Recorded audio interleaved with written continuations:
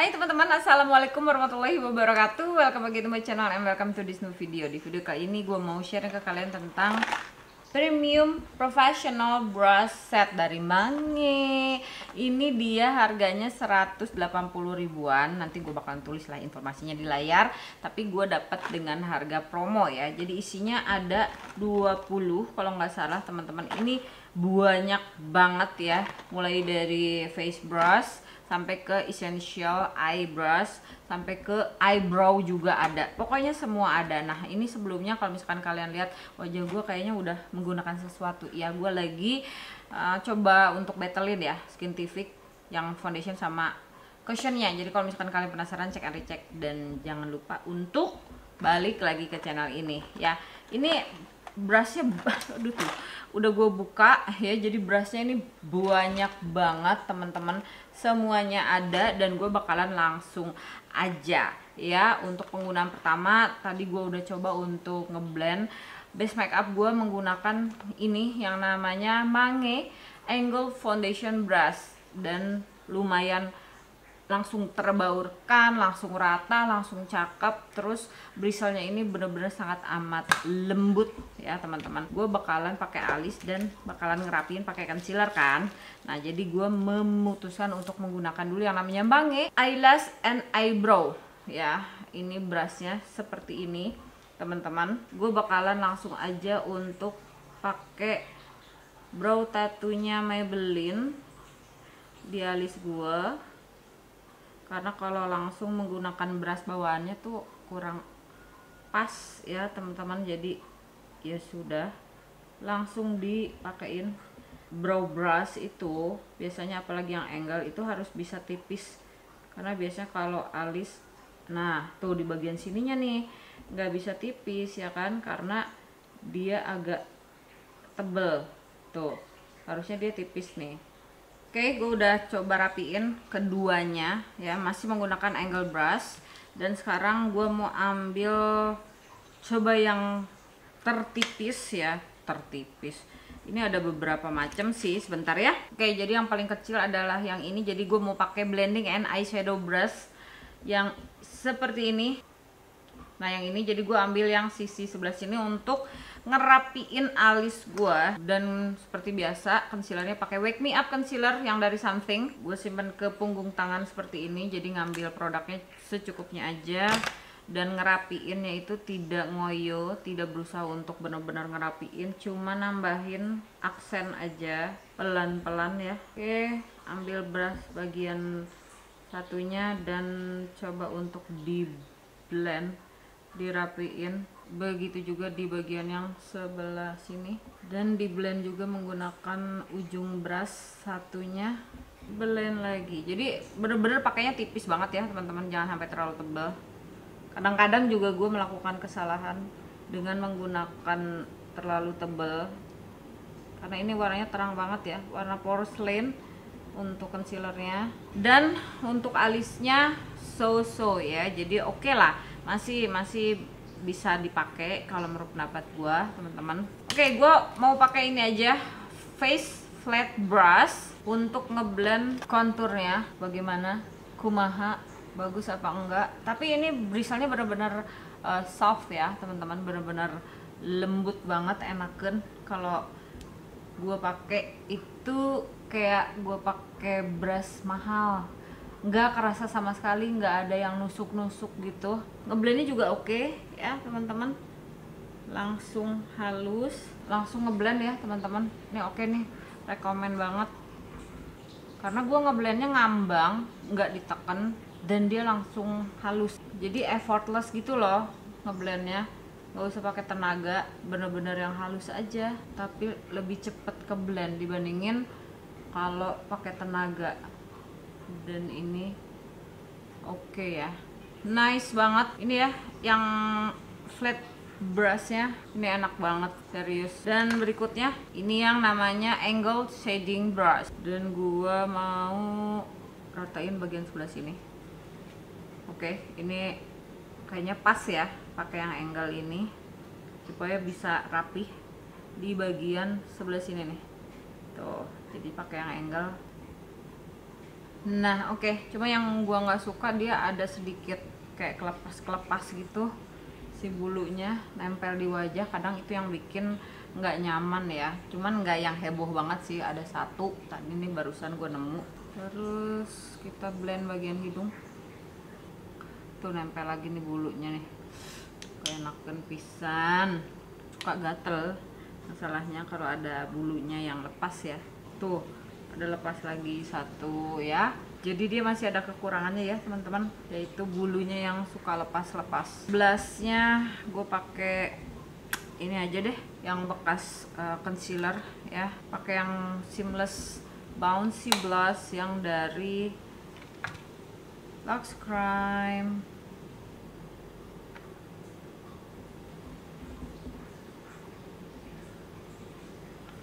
dan lanjut ke powdering. Tapi gue mau pakai dulu puff ya untuk bagian under eye nya oke untuk powdering center wajah selesai. Sekarang gue ambil yang powder brush untuk pakaiin powdernya di bagian sebelah sini. Karena kan tadi pakai sunscreen ya jadi biasanya rada-rada basah gitu sebelah sini. Sebarin aja. Dan gue mau coba rapihin buang ekses. Seperti biasa setelah gue pakai powder biasanya gue buang eksesnya halus banget sih honestly ya. Ini bener-bener halus. Blushnya gue mau pakai ini aja. Terus gue pakai stippling brush. Yang ini untuk pakai blushnya. Harusnya sih ini buat foundation ya tapi ya nggak apa-apa. Tidak masalah. Dan kita tap aja. Oke. Okay. ah dari tadi masalahnya ini cuma dia kadang ada yang lepas-lepas nih bristlenya tapi kalau coba ya ini ada satu biji nih yang kelepas oke. Oke gue coba pakai lagi ya. Karena nggak nyaman gitu loh. Dia ada lepas lagi nggak? Nggak sih. Setelah yang satu itu tadi gue cabut dia nggak ada lepas-lepas lagi ya. Untuk konturnya gue punya ini ya teman-teman. Ini adalah angle contouring brush. Dan gue mau pakai afternoon tea. Ini yang dari Ainim. Gue pakai ke semua warnanya saja dari atas sampai bawah. Dan gue tap di sebelah sini. Wow nice. Wow langsung targeted gitu ya. Nice. Uh.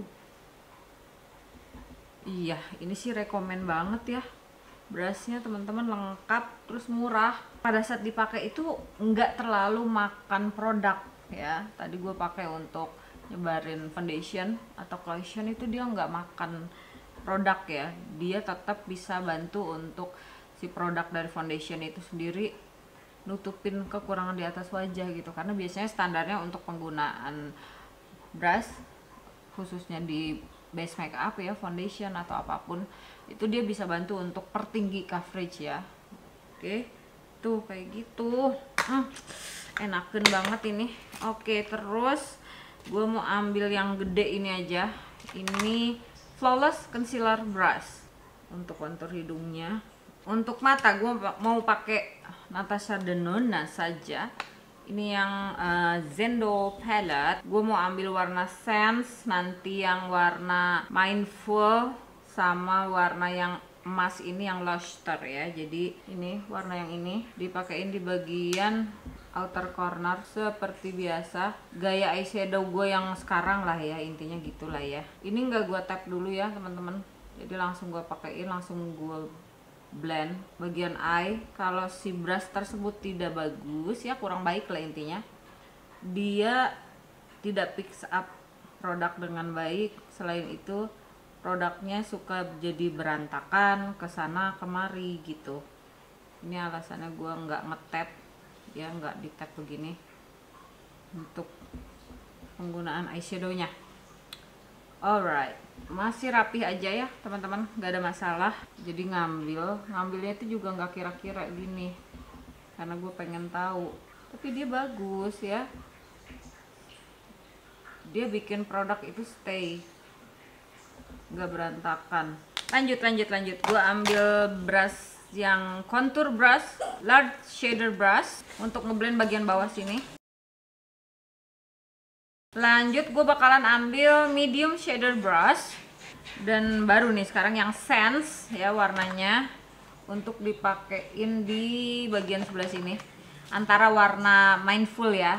Jadi di sebelah sini gue ambil warna sense agak ke atas sedikit. Dan juga di bagian outer atas sedikit di blend ke atasnya gitu sampai ke tulang mata di blend. Oke okay. luster atau warna emas ini ya teman-teman. Luster aja warna emas aja. Sebenarnya sih gue perlu yang pink yang muda banget sih sebenarnya ya.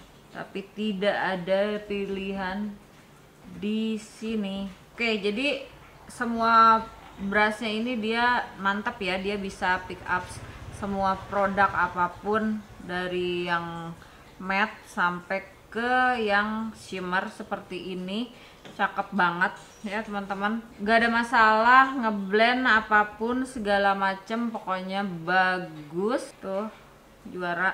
Wow nice banget. Oke okay. eye kurang lebih seperti itu ya teman-teman. Gue masih ada brush satu lagi. Ini untuk apa? Gue juga bingung ya nggak tahu eye uh, selesai. Aku selesai gitu seolah-olah ya. Ini ada yang kecil nih. Ini biasanya untuk um, highlighter. Ai mau pakai highlighter. Aku mau pakai highlighter. Cie aku. Gemes ya. Yang dari Dior Backstage. Glow Face Palette. Dan tinggal ambil aja ya. Warna yang ini dan dipakein di sini. Wow nice. Ini bener-bener halus banget ya teman-teman. Seriously cakep halus. Nggak makan produk ya. Untuk bagian center gue menghindari penggunaan highlighternya karena gue lagi biasa ya review-review. Jadi untuk bagian center tidak gue pakein. Tuh bener-bener halus lembut ngeblendnya oke walaupun ada bener-bener sangat amat minim lah ya. Dari satu brush itu satu bristlenya yang ada rontok gitu ya bulunya. Bristle itu bulu ya kalau misalkan kalian sedikit kurang paham. Ya gue kasih tahu sedikit juga. Oke okay, oke okay, jadi totalnya ada 25 brushes. Teman-teman tadi gue pakai sekitar 14 brushes dan ini sisanya masih sangat amat banyak. Untuk di bagian inner corner mata gue tadi pakai highlighter yang dari something ya yang kecil-kecil itu. Dan untuk lipstiknya gue pakai dari ini baby brown aja cross liquid lip terus warnanya oat cocoa takutnya kalau di skip skip nanti ada yang tanya itu lipstiknya apa dan gue kadang suka lupa. Bibir gue masih kering ya teman-teman. Sampai dengan sekarang gara-gara nge-review produk lipstick makanya gue pakai yang bener-bener apa ya lembab gitu. Nggak berani yang pakai matte dulu supaya kembali dulu moisture-nya. Oke teman-teman. Jadi seperti ini hasil akhirnya. Tadi untuk bagian uh, inner corner mata gue pakai dari eye blendernya Mange dan dia bener-bener ya ini bener-bener fix up. Pokoknya ngeblend dengan baik nggak terlalu banyak yang rontok walaupun ya ada aja ya khusus uh, di brush-brush yang agak besar ya. Tapi kalau untuk yang kecil-kecil nggak ada rontok sama sekali. Untuk harga yang ditawarkan bener-bener sangat sangat sangat sangat amat uh, tidak masuk akal kalau menurut pendapat gua berasnya halus uh, hasil ngeblendnya atau membaurkannya juga bagus tetap cakep.